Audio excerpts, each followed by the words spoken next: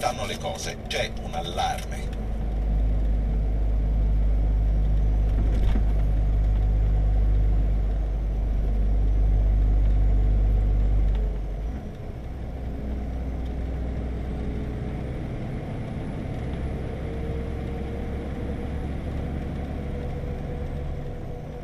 con grande chiarezza e con grande fermezza, perché io eh, capisco tutti i dibattiti contabili, giornalistici e di qualsiasi genere, ma immaginare che sulla pelle dei pensionati e delle pensioni si possano fare speculazioni politiche o meno, credo che sia una cosa scorretta. Le cose vanno dette, vanno sicuramente portate fuori, ma poi va anche detto la verità, ovvero l'IMPDAP è in disavanzo strutturale da molti anni, non potrebbe essere altrimenti.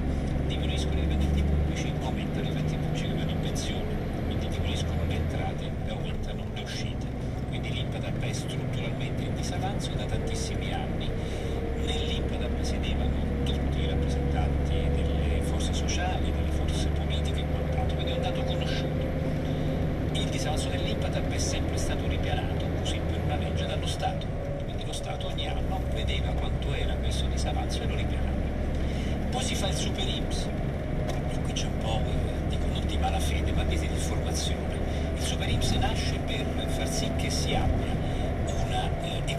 scala, una razionalizzata razionalizzazione delle spese dei costi era assurdo che fino ad oggi ci fossero in ogni provincia un ufficio Y uno INPRAP, ce ne sarà solo uno.